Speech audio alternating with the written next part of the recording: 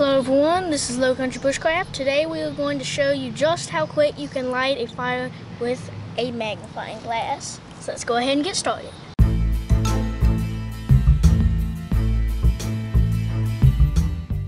We're going to use char cloth. Um, it works really well for starting fires. I really suggest it.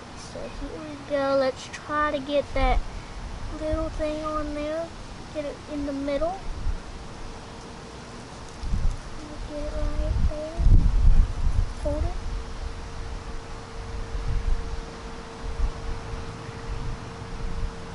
Okay, we're going.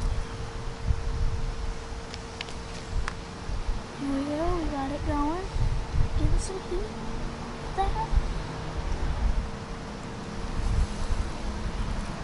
ahead and fold it up.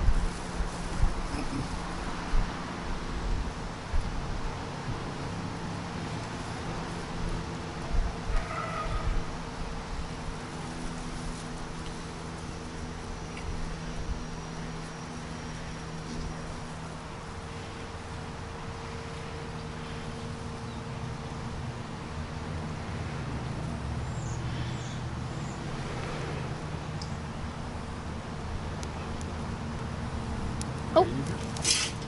Ta-da! I did a magic trick! Haha! Went from smoke to fire. Haha! That's very satisfying. Man, if you've got a magnifying glass, some char cloth, and a good sunny day, you're good to go. It's gonna light right up. Took me two tries, but got it right. Worked out really great. Bye!